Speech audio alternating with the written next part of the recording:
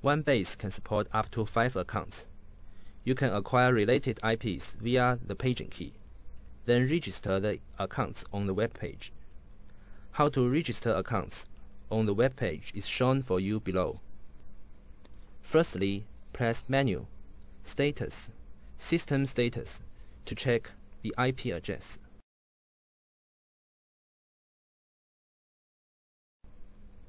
Enter the IP address in the Explorer address.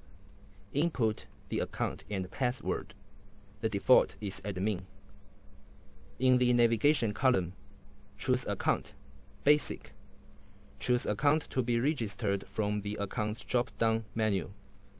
Then open the registration status and input the related account label, display name, registration name, password, and SIP address. Click Save to finish registration.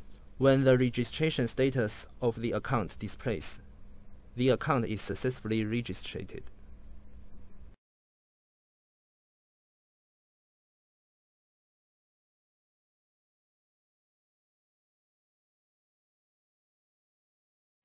When your registration completes, you can also press the OK key to enter the main menu and choose Status, Line Status to check the account registration.